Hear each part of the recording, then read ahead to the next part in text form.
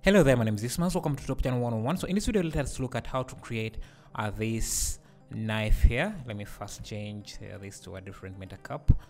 And uh, let me set these to only rendered so that we can see the details uh, that are here.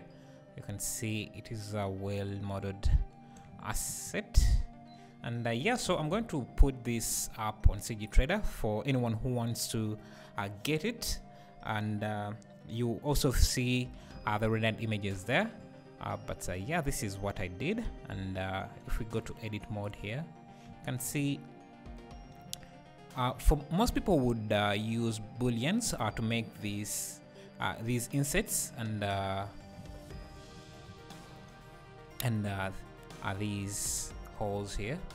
But I like to use to model everything just because I want to have control over the edges, the amount of edges, the, the amount of vertices uh, that are in my model.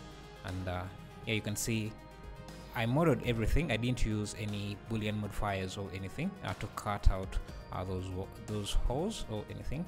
And uh, and I think it came out nicely. Now another thing, uh, one of the commenters in, on one of my videos said that I should be using more. I should I use curves to trace out uh, the uh, the silhouette of of the shape before I model it. Because I usually uh, what I do is uh, I get I create a, pl a plane and then extrude from it from one of the vertices on that plane I just extrude uh, the vertices like that uh, to create uh, the shape uh, you will see it in the video. And uh, one of uh, the commenters said I should be using a curve instead of uh, vertices uh, yeah I could do that but uh, as I said I, I, always want to have control over uh, where the points where the vertices are on on the mesh so that I don't have a lot of uh, vertices unnecessary vertices on my mesh on my models in my models. That's why I use mostly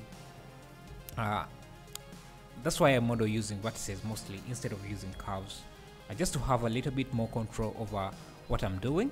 And uh, yeah and I think it works because I think uh, the model came out uh, really nicely. And uh, yeah so this is going to be as well a time-lapse video. And uh, if you want to see the rendered images or if you want to see if you want to get the model you will find it on my CG Trader account. I'll be leaving a link in the description. So yeah, if you found this useful, make sure to leave a like, subscribe, and I'll see you in the next video. So yeah, let's dive in into the time lapse.